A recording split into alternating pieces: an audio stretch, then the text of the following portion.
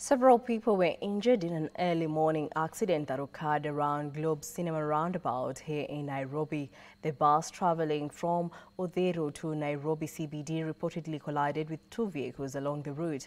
Reports indicate that the accident was a result of reckless driving.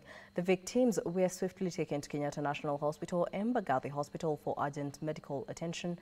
Both the driver and conductor of the bus remain at large, with no arrests made these prior.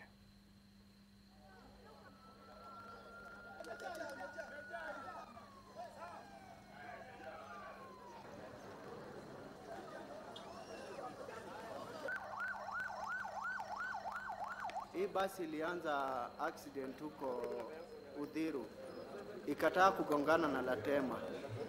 Hii basi ilianza accident huko Udhiru, ikataa kugongana na Latema, akaweza kuhepa.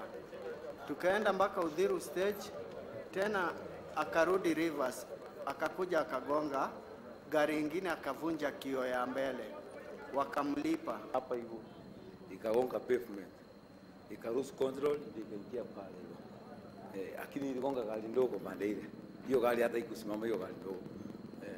Naona tu mimi nilipata tu ndere akipotea, kapasi wakiona alikuwa amevaa shati ya bluu na kakoti na ni mrevi, akapotea akaingia hii side aka, akapotea aki, ak, alikuwa anakimbia akiwa amefunga hivi macho, akaenda akaingia tao akaingilia na huko akapotea.